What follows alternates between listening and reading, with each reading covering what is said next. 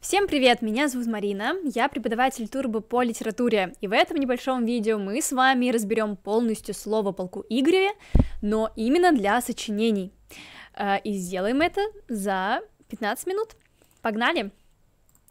А какие вопросы вообще бывают э, именно из 12 сочинения по этому произведению? Мы с вами все-таки учим полностью все тексты именно для большого задания, для большого сочинения. Оно под номером 12.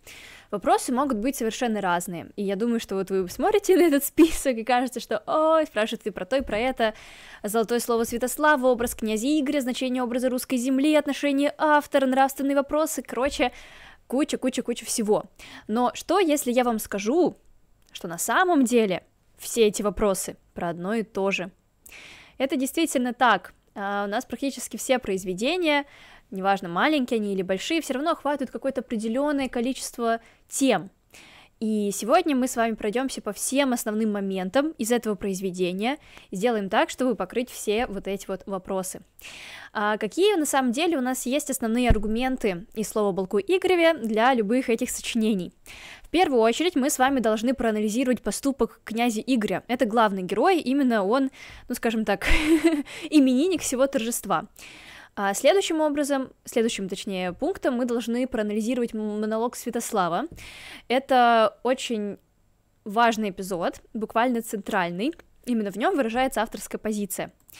И третий эпизод, который нам нужно рассмотреть, третий пунктик, это образ Ярославны, жены князя Игоря, и образ природы. Они совместны, я сейчас объясню почему. Если мы с вами сейчас вот когда изучим все эти основные аргументы, вы сможете уже их раскидывать по всем этим сочинениям. И выглядит это примерно так. А, вы можете сразу заметить, что там про Святослава уже в нескольких, уже в нескольких вопросах спрашивают. Э, и причем вроде бы сформулировано по-разному, но на самом деле они имеют в виду именно монолог Святослава. Когда спрашивают про русскую землю, про средства, э, которыми выражена авторская позиция, образ Ярославны, природные стихи, это все тоже совместный аргумент. Нравственные вопросы, образ князя Игоря, эпическая часть произведения, это про э, поступок князя Игоря, про поступок главного героя. Короче говоря, спрашивают всегда про одно и то же. Ну, давайте с вами пойдем по порядку и начнем с поступка Игоря. А, что он вообще такого сделал, из-за чего, собственно, автор этого произведения решил написать а, поэму «Слово полку Игореве». А, князь Игорь решил пойти на половцев. В конце XII века половцы были основной вражеской силой Руси, и князь Игорь хотел своевольно, не посоветовавшись со всеми князьями, пойти на этих половцев – Прошлую славу похитим, будущую между собой поделим. Он хотел отобрать прошлую славу других князей, которые уже ходили на половцев довольно успешно, и стать вот самым великим князем, который победил э, этих, этих поганых, их еще называют погаными, этих поганых половцев. А, но что здесь не так? Игорь, во-первых, и действует только из своего личного желания. Он жертвует жизнью людей ради личной выгоды и не думает о последствиях своих действий. И в попытке добыть некое уважение и из-за своего тщеславия он забывает о своем первостепенном долге заботиться о процветании веренного ему народа. А, какой эпизод для сочинения мы с вами можем использовать, который показывает как раз-таки неудачность этого сражения, этого похода? Ну, вообще, на самом деле, когда русские пришли на половцев вместе с князем Игорем, они первое сражение выиграли. Они все-таки пришли неожиданно. Первое столкновение на, на реке Каяле принесло победу русским воинам, но это всего лишь временный успех. И тем не менее, Игорь все равно начал пировать легкомысленно на чужой земле, уже праздновать свою победу, свою славу, но он не подумал о том, что война-то не закончилась, и будет еще следующее сражение. И действительно, на следующий день орды половецких ханов Гзака и Кончака напали на полк Игоря. Русские тогда проиграли, они же накануне пировали. Они проиграли, ну а князя Игоря взяли в плен – это вот как раз-таки последствия его безрассудного решения. Даже, можно сказать, цепь безрассудных решений привела к таким последствиям. Мало того, что погибли люди, так его и самого забрали в плен. А, несмотря на то, что Игорь поступил так неправильно, автор изображает его неоднозначно. То есть он не просто плохой, да, такой молодой парень, который из-за тщеславия и гордости решил пойти своевольно на половцев, но он все-таки еще изображается как храбрый воин и как любимый князь. Например, э, когда они сражались с половцами, Игорь изображается вот действительно как такой э, храбрый вожак, он пытается спасти своего брата Всевлада, в нем есть э, вот это чувство ответственности за близких людей. И когда Игорь возвращается в итоге из плена, все его очень-очень рады видеть. И несмотря на то, что все произведение было построено и нацелено на то, чтобы показать, что поступок Игоря неправильный, в конце автор прославляет, прославляет князя Игоря, его брата Всеволода, с которым он пошел на половцев. И все люди тоже очень рады его приветствовать, потому что это их князь, и они его очень любят. И странные рады, и веселые грады. А, таков князь Игорь. Ну а теперь перейдем к золотому слову Святослава – Золотое слово Святослава — это монолог, монолог э, мудрого правителя, который э, заседает в Киеве. Да, и это как раз-таки причина, по которой э, Святослава называют отцом Игоря Всевлада. Он отец не по кровному признаку, а по иерархии князей, потому что князь Игорь, он Новгород-Северский князь, а Святослав — это киевский. И Киев — это все таки э, основной город на Руси тогда был. И вот Святослав, как мудрый такой правитель, изроняет свое золотое слово, то есть он говорит монолог, в котором выражается авторская позиция. Именно поэтому для нас принципиально важен этот эпизод. Это такая политическая линия всего произведения, и здесь мы приходим к главной идее. А, но перед тем, как Святослав скажет свое золотое слово, он увидит вещи сон — а, тема вещего сна очень популярна в шестых сочинениях. Не просто вещего сна, а просто тема сна. А, но чаще всего мы сравниваем в шестом задании именно вещи и сны. А, более того, вещи и сны являются также дурными предзнаменованиями, и это тоже тема шестого задания. Что же приснилось Святославу? Ему приснилось, будто его он лежит на тисовой кровати, его накрывают черной тканью, его поили горьким отравленным вином, из вражеских колчанов сыпали на полотно крупный жемчуг, а, еще каркали вороны, ну просто, короче, наполненный такой символический сон, а, в котором явно видно, что что-то неплохое сейчас будет. Почему? Ну, давайте по порядку. Его накрывали черной тканью, он лежал на тисовой кровати. Да, тис это такой очень ценный материал для гроба. Черная ткань, черный цвет это в целом цвет траура, цвет страха, смерти и так далее. Uh, пить вино это на самом деле уже плохая примета, когда ты во сне пьешь вино, а когда ты пьешь именно уже отравленное, мутное такое вино, это еще хуже. Uh, плюс жемчуг это всегда символ слез по традиции в литературе. Ну и ворон, они тоже обычно являются символом смерти. И видит этот вещи сон Святослав. Он просыпается, рассказывает о нем, а ему в ответ говорят, что ему приснился этот сон неспроста, и действительно э, пришла э, досадное, да, пришло досадное известие, князь Игорь вместе со своим братом Всеволодом и, его, и их дружинами, они потерпели поражение в походе на половцев.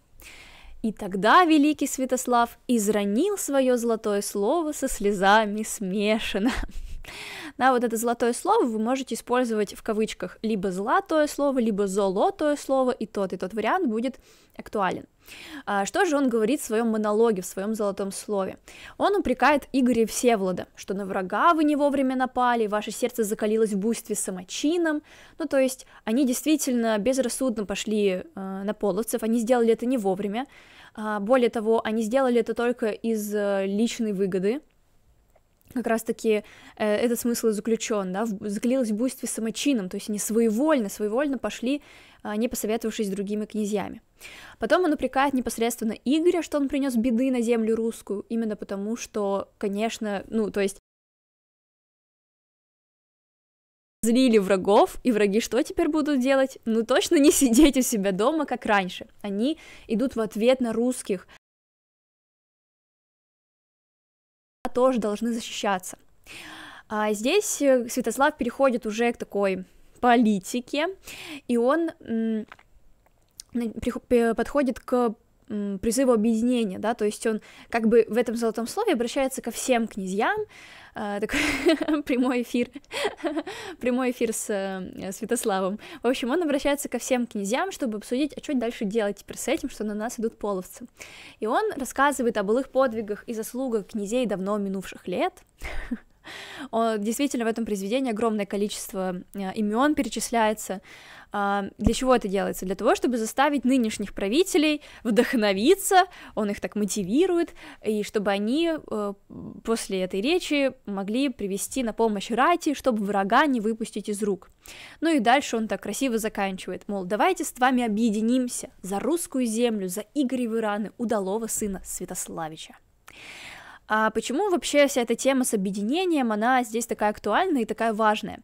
А, немножечко веду вас в, в исторический контекст того времени. А, конец XII века — это вообще такая осень древнерусского государства. Там, через некоторое время у нас вообще начнется татаро-монгольская ига, и мы просто затихнем на несколько столетий. Но здесь еще важно, что на Руси тогда происходили междуусобные войны. А, вся Русь, она была не единой, ну, например, как сейчас, да, у нас Российская Федерация, один президент, один правитель, а, тогда было по-другому, тогда э, вся Русь, она была поделена на княжества, вот Киевское княжество, Новгородское княжество, Курское и так далее, и в каждом княжестве был свой правитель, свой князь, но все эти князья, вообще, в целом, э, Русь выживает так, что все князья, ну, они взаимодействуют друг с другом, а Русь, она, э, как бы, в целом мы же понимаем, что имеется в виду под Русью, вот эта вот небольшая территория, еще на тот момент небольшая территория, а, и несмотря на то, что э, несколько правителей, они все, по идее, должны действовать сообща, чтобы выступать как-то против больших врагов, э, которые есть на мировой арене. И и вот тогда, в конце XII века, князья как раз-таки не действовали сообща, они все время ссорились. А, потомки Владимира Мономаха, Олега Гориславича, они постоянно находились в такой войне братской. А Олег Гориславич, он как раз здесь упоминается в произведении как зачинатель этих междоусобиц, и автору очень грустно, что это так происходит, потому что, ну, если мы, как Русь, не будем едины, то мы не сможем выступить против врага. И он как раз на примере вот этого а, произведения, на примере вот этого эпизода, это абсолютно реальный эпизод, если что, на поход князя Игоря на Половцев, а, он на примере этого эпизода показывает, к чему может привести как раз-таки вот а, наши, наши с вами междоусобицы. И поэтому Святослав здесь говорит, мол, давайте забудем все, что между нами было, давайте вновь объединимся против общего врага за русскую землю, за игры в Ираны. Вот такая вот, вот такая вот идея всего этого произведения. Ну и последнее, что стоит здесь обсудить, это образ Ярославны. Ярославна — это жена князя Игоря, и вместе с ней еще связан, э, связан образ природы. Почему? Потому что Ярославна, как такая женщина, она, причем собирательный образ всех женщин, всех женщин, которые э, в ожидании своих мужей, они отправляют их на войну, а сами остаются дома и каждый день переживают за них. Вернуться или не вернуться — ранены они, не ранены, что с ними происходит. Вот это такое женское страдание, оно выражается именно в образе Ярославны, и а, Ярославна а, здесь тоже говорит свой монолог, это называется уже плач, плач Ярославны. И в этом плаче и раскрывается образ русской земли, русской природы. Она обращается к природе. Сначала она упрекает ветер в том, что он метал вражьи стрелы на полки Игоря, потому что в дни битвы несся ураган именно с половецкой стороны. Ну, то есть вы понимаете, да, упрек? Представьте, что я, э, я половец, э, вы будете э, русскими, и я вот как бы натягиваю стрелу, бросаю в вашу сторону, и мне как бы еще помогает ветер, потому что ветер дует с моей стороны, поэтому стрелы долетают проще и быстрее. И Ярославна как раз-таки ветер упрекает в том, что ах ты, гадина, именно с половецкой стороны в тот день, э, в тот день несся.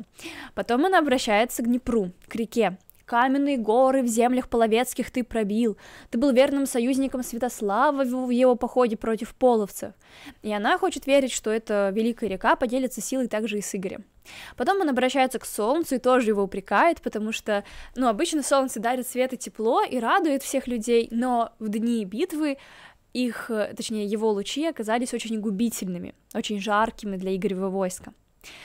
И Ярославна в целом так рассуждает, она думает о своем Игоре, и она такая самоотверженная, что она прям готова, если бы она только могла, она готова уподобиться кукушке и прилететь к милому Ладе. Ну, Лада — это вот как раз супруг, возлюбленный, к милому своему она очень хочет прилететь.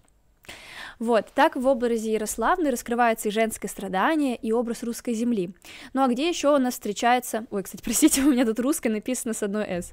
Да, это, это опечатка. А, где у нас еще встречается образ природы? Он на самом деле только не тут появляется, но еще и в начале произведения. А, в итоге-то, кстати, после плача Ярославны природа помогла Игорю бежать из плена, и он вернулся домой. Но она, сама природа, пыталась предупредить князя Игоря еще перед походом о таком трагическом завершении этого похода. Она пыталась его предостеречь. Каким образом? Князь Игорь, когда собрал всех и был готов уже идти на половцев, они все увидели, он вместе с дружиной, что солнца нет, что резко посреди дня стало темно это солнечное затмение. Оно тоже реально было, это исторический факт. А, солнечное затмение, ну, ну, то есть мы сейчас с вами, я думаю, что если увидим, это тоже для некоторых покажется очень символичным, да, в определенный момент и в определенный момент, да, увидеть солнечное затмение, это вау, такое событие. Ну а представьте себе людей 12 века, конечно, на тогда, когда еще была живая языческая культура, а, увидеть солнечное затмение это ну максимально максимально яркий знак, который только можно было получить. Но князь Игорь все равно не обратил внимания на этот знак и пошел дальше против половцев.